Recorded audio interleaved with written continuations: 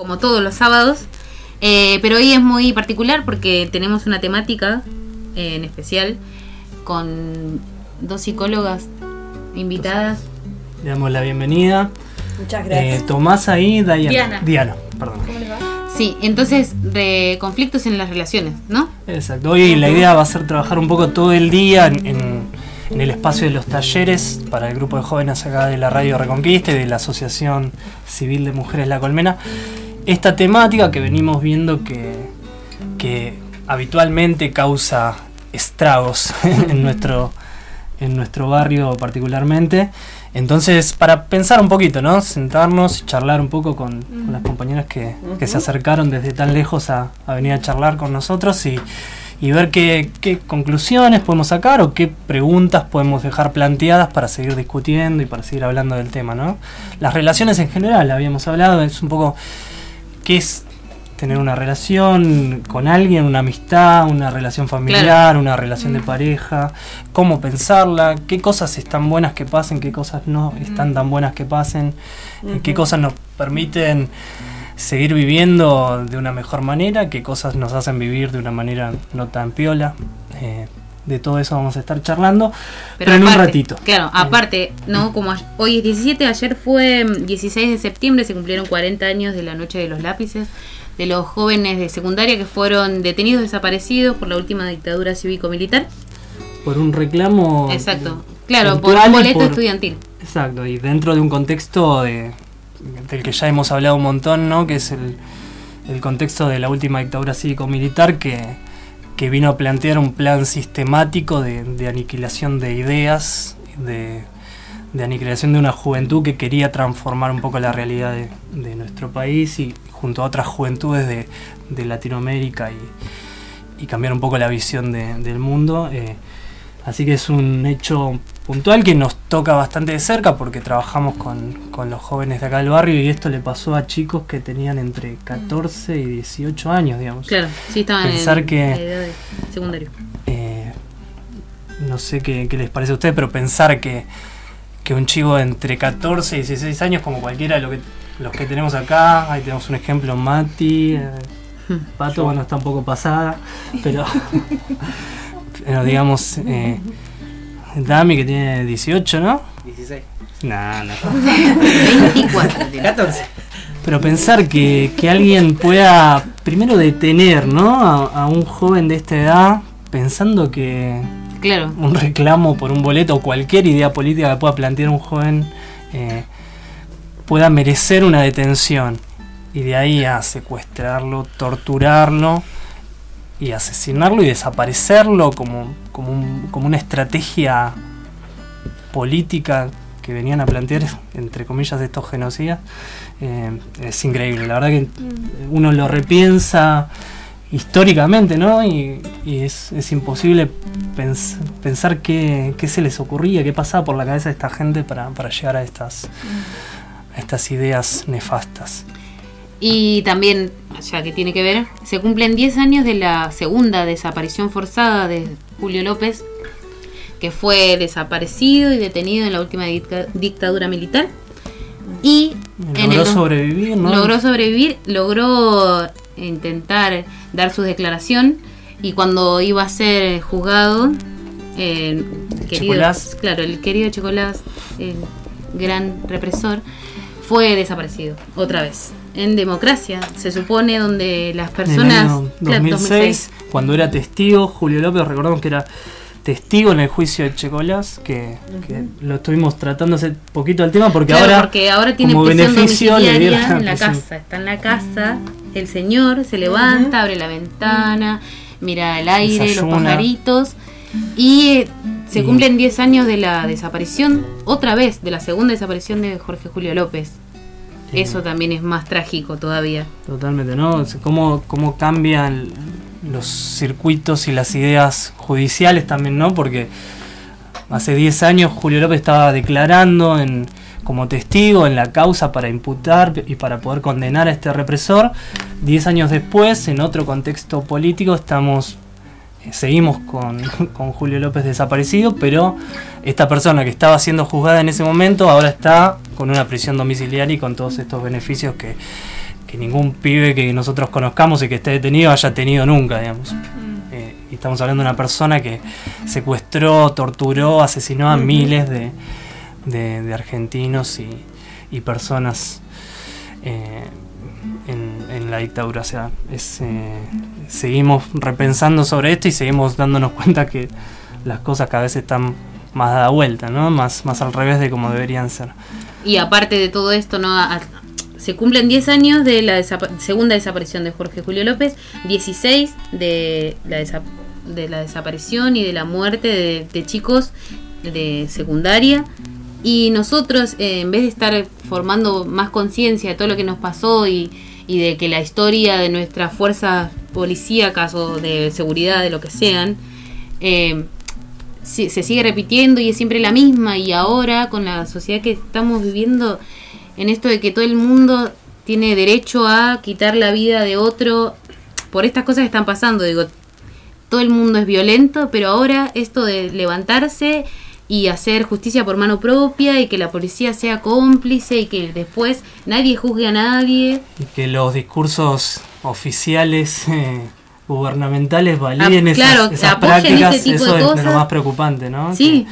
que un vecino cometa errores no está bueno para nada, pero sería lamentable, pero digamos que, un presidente valide ciertas prácticas mm. es, preocupante y, y, da miedo un poco, ¿no? Da miedo porque también retomando la historia y todo lo que pasó, hay que ser muy cuidadoso cuando desde sobre todo los discursos oficiales se plantean la validación o la confrontación de, ciertas prácticas y, y, salir a decir eh, con liviandad, eh, en, sobre todo en, la réplica que tienen los grandes medios de comunicación, este, los discursos oficiales últimamente, eh, genera, ¿no? Abre un poco da carta abierta para que cualquiera venga y, tome. Claro, y, que se crea que eso está bien. su propia justicia y, y, sabemos para dónde terminan, por dónde terminan ese tipo de prácticas, ¿no?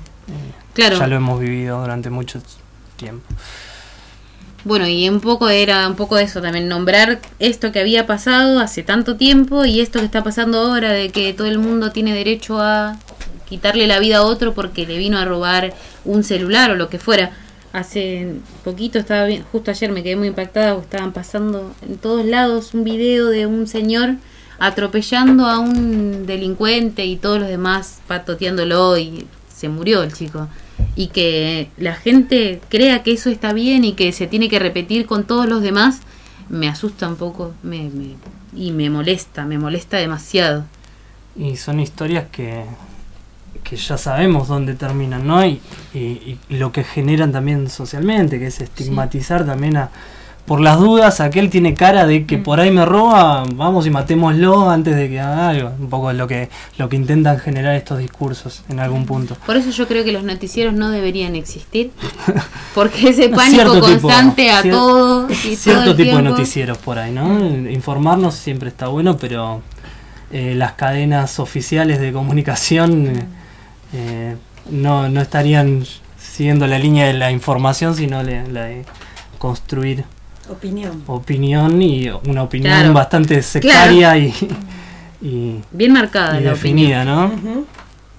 Ya que estamos, las invitamos a, si tienen algo para comentar sobre estos casos que estuvimos eh, mencionando, eh, tanto la noche de los lápices como la segunda desaparición de Julio López, si, tienen algo que, les interese comentar. Eh, la idea de este bloque es un poco debatir y plantear puntos de vista sobre, sobre estas temáticas.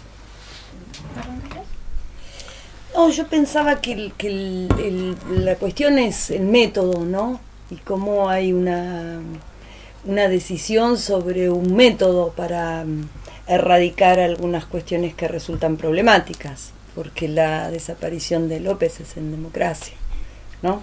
Entonces quiere decir que hay algo de los métodos que no hemos revisado profundamente como sociedad y desde las fuerzas de seguridad también. ¿no? no nos podemos quedar como tranquilos con eso. Y después lo que se, lo que se replica a nivel social de la violencia y es multifactorial, eh, tiene muchos muchos factores y muchas causas.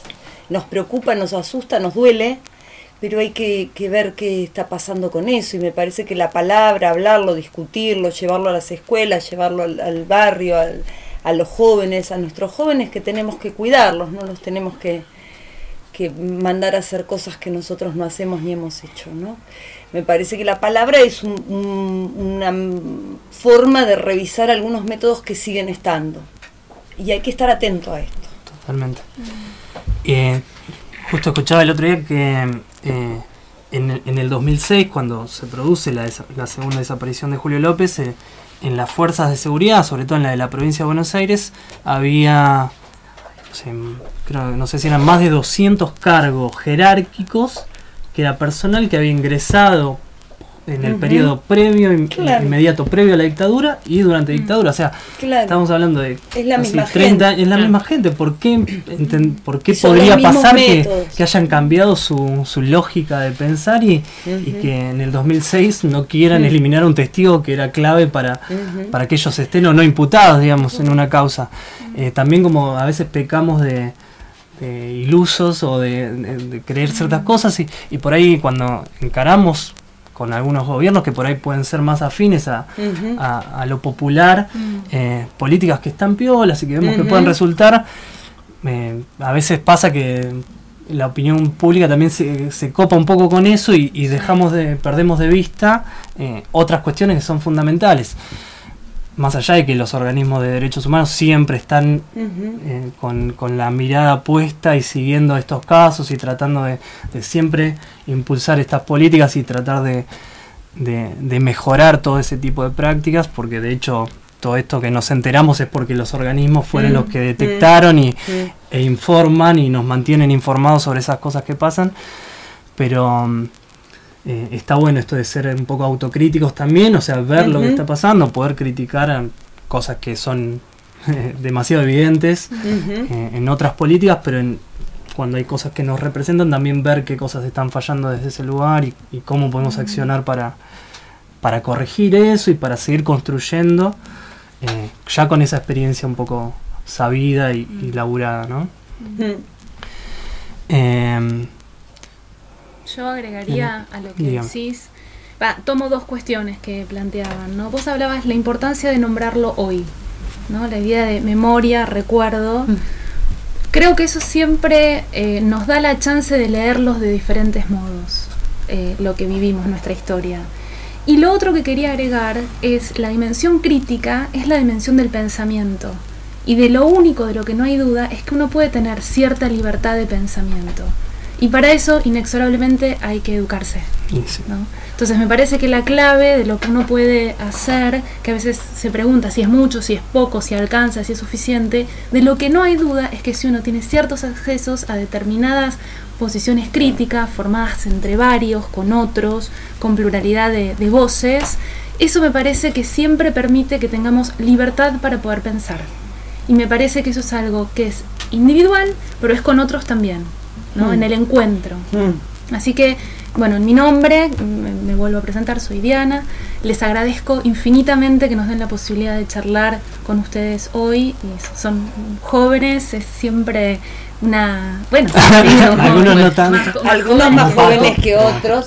Pero eh, me da la posibilidad de seguir revisando y pensando y escuchando lecturas de personas que a lo mejor lo vivieron más desde un relato, ¿no? La dictadura, bueno, yo igual nací en dictadura, pero quiero decir, siempre da la posibilidad de seguir aprendiendo de lo que ya ocurrió. No sé si eso nos va a prevenir, eh, pero yo tengo la ilusión de que entre la música, las palabras, los encuentros, eh, la transmisión, la educación, al menos vamos a estar eh, a distancia de algunas cosas, o vamos a intentarlo, ¿no? por supuesto, bueno, somos las dos psicólogas, creemos en el decir, creemos en el hablar. Eh, si no, no, no, no, estaríamos haciendo lo que hacemos. Lo que nosotros un poco pensamos cada vez que decimos encargar un proyecto como este, que es el del programa, que, mm. este programa con esta forma, si bien hemos tenido otros programas en otras épocas, eh, surge este año, ¿sí? Mm. Es un poco pensar en qué contexto estamos, nos estamos moviendo. Nosotros eh, como ya habrán visto en estos pocos minutos de estar acá, eh, somos bastante dinámicos en hacer como un montón de cosas al mismo tiempo. Y ahora entendíamos que era fundamental poder eh, generar diferentes discursos porque ya llega un momento cuando se polariza un poco toda la, situación política, eh, es hacer zapping y escuchar eh, las mismas palabras validando ciertas prácticas que, a nosotros, esto que decía yo, nos asustan y que siempre venimos trabajando en contra de eso y ahora las escuchamos en los canales oficiales y en toda una red de canales que, evidentemente quieren imponer algo y quieren evitar esto que, que planteabas, que era de de a través de diferentes tipos de información uno generar su propia información, ¿no? De filtrar y reflexionar con, diferentes opiniones, nutriéndose de, diferentes opiniones, generar un pensamiento crítico sobre lo que está pasando.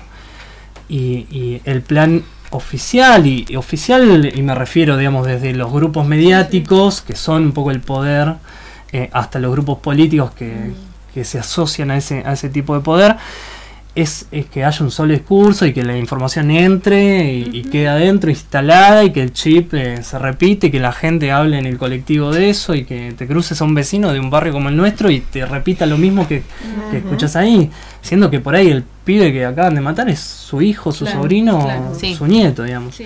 Cosas que los compañeros validarán, eh, vemos todos los días. Eh, entonces, ahí es donde se vuelve preocupante desde nuestro lugar y donde, bueno, tratamos de generar más instancias de, charlar, de discutir, de pensar, porque cuando, digamos, está todo tan armada la estructura del otro lado, bueno, mm. con pequeñas cositas tenemos que empezar a tratar de, de, meternos en las grietas eh, que generan y, tratar de generar nuevas, diferentes ideas por lo menos, ¿no? Mm. seguramente no estamos planteando lo correcto o lo que, o lo que se debería hacer, pero sí... Eh, algo distinto a lo que se escucha en otros lados y, un poco lo que pensamos, que, es lo que intentamos hacer desde la comunicación y desde eh, esta generar nuevas voces y, hacer que, los vecinos de nuestro barrio también tengan un lugar donde venir y contar lo que les pasa desde otro lugar y no sea el discurso que, recibieron de la tele, de, de los canales oficiales. Eh, yo los voy a invitar a que hagamos un nuevo bloque con Mati que está ahí en la operación técnica eh, y vamos a retomar ya un poco el próximo bloque enfocados, bloque, enfocados en, la temática que, propusimos para el día de hoy. Eh, y si los músicos presentes quieren hacer una canción, les vamos a agradecer.